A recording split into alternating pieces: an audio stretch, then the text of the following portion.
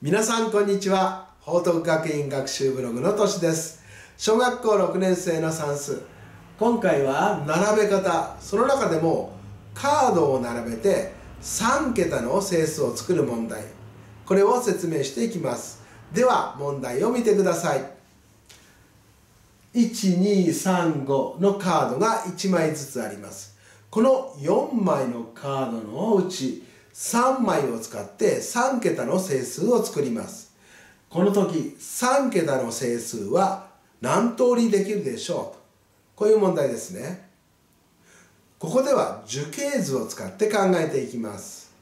この時100の位にまずどのカードを使うか。これを考えていきましょう。最初1のカードを100の位に置いてみましょう。ここで4枚のうち1枚を100の位に置いたので残り3枚ありますよね。ですから10の位に置けるのはその3枚、えー、2のカードの時と。そして3のカードの時と5のカードの時。こういう場合があるわけですね。そして10の位に2を置いたら1の位に置けるカードは3のカードと5のカード。ということになります。実はこの樹形図3桁の整数を表しています。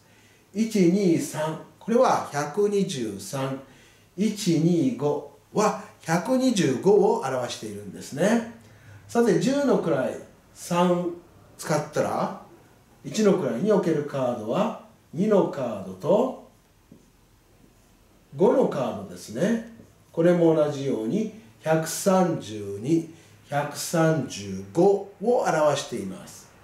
10の位に5を使ったら1の位に置けるカードは2のカードとそして3のカードということになります。これ152と153です。ではここで何通りできているか数えてみましょう。12345で100の位に1を置いた時3桁の数は6つできているわけですね。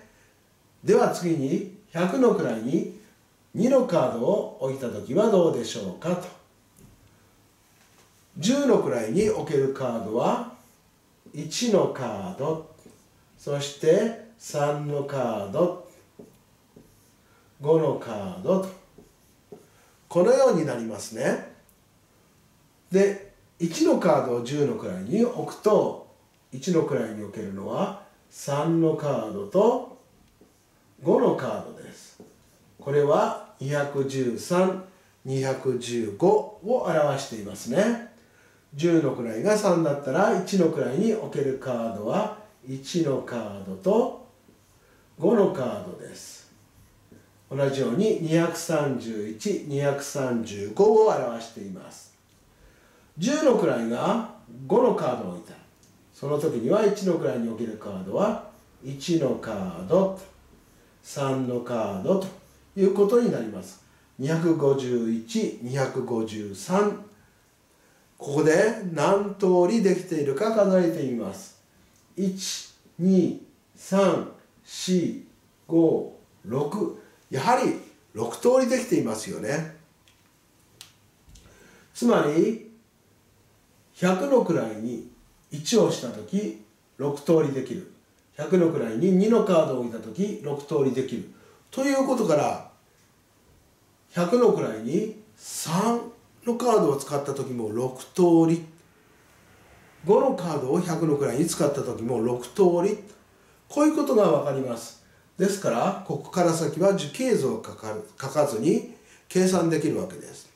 6通りが4組できますから 6×4 この4は100の位に1のカード2のカード3のカード5のカードと。この4つの場合を表していますね。6通りずつ4組できるので6424となって答えは24通りと。理を忘れました。このように、えー、計算できるわけです。今回は並べ方で、えー、3桁の整数を作る場合についてお話ししました。今日も最後まで見ていただきどうもありがとうございました。ではまたお会いしましょう。さようなら。